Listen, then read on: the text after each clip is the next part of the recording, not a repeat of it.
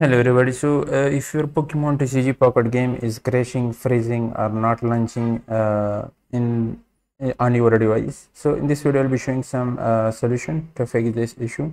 Uh, the first thing you need to do is to uh, make sure that you force close all the background app that currently running on your device. And to do that, just simply click on this icon.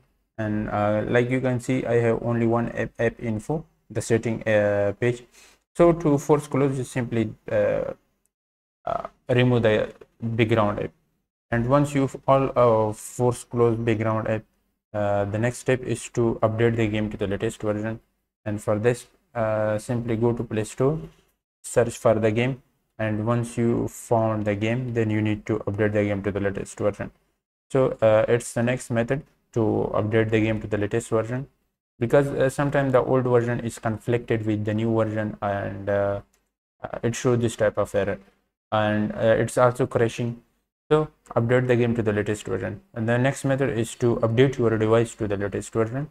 So uh, also if your operating system have uh, older version then it show or it cause this type of error. The app is not running properly or smoothly when you have not uh, when you have installed the older version of your operating system. And to update your uh, operating system uh, simply go to your setting on your device. Here in the setting you will be able to update your device to the latest version. So this is some uh, method uh, to fix this crashing or freezing issue in the new pokemon tcg pocket game.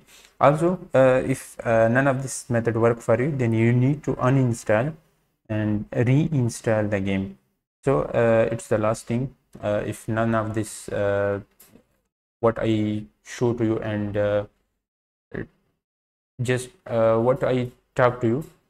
So if none of this uh, method work for you then you need to uninstall fully the game. But before uninstalling the game make sure that you link to your account because if you don't link your account all your progress will be lost. So this is how you will be able to fix this crashing or freezing issue in the new Pokemon TCG Pocket game. I hope this video helped you. Subscribe this channel for more informative video like this. Thanks for watching and goodbye.